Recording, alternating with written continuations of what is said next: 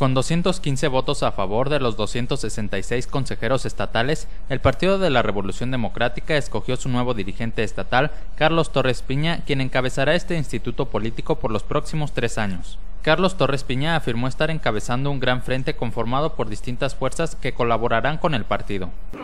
Creo que es un gran frente que se tiene actualmente diferentes equipos, pero además una gran fuerza representada no nada más en los órganos del partido, sino también en la base social.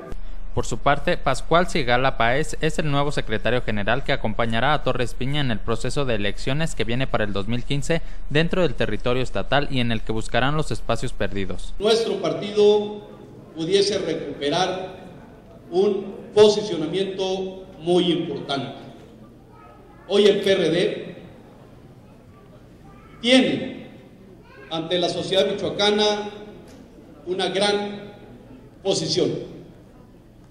El partido tiene una gran responsabilidad entonces y la nueva dirigencia que a partir de mañana tomaremos las riendas de conducir una institución fortalecido. Ya en las instalaciones del PRD en Michoacán, Carlos Torres Piña negó haya habido presiones hacia su persona, señalando aún se tienen 15 días para tomar protesta, tiempo en el que buscará a Fidel Calderón, Leonel Godoy, Raúl Morón y a todos para iniciar una nueva etapa. Para realizar un acuerdo mayoritario, nos hubiera gustado que fuera totalmente de consenso, pero entendemos las diferentes opiniones.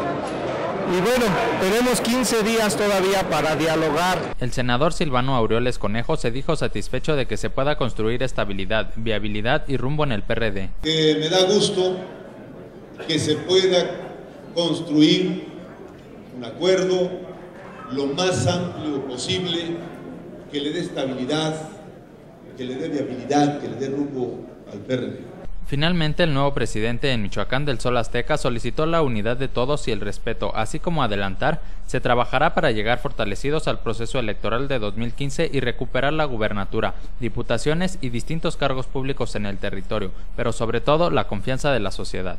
Con información de Felipe Bárcenas Informa, Cuasar TV.